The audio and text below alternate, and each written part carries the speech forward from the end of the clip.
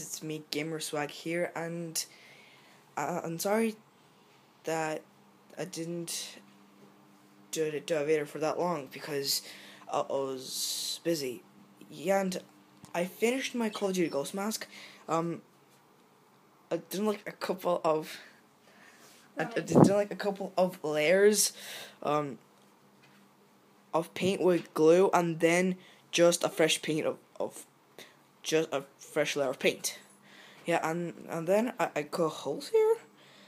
Yeah, like I have um the two layered hat, so yeah, it was it was pretty easy, but tricky at the same time. So yeah, so so here's the finished product. Um, yeah.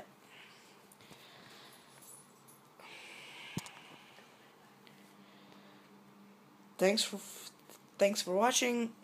Leave leave a like, comment down below, and don't forget to subscribe to my channel. And and I hope I will get like a, a very good camera so I can record gaming videos and stuff like in high quality because because I'm recording on my iPhone right now and and doesn't have lots of megapixels. So yeah. See you guys in the next video.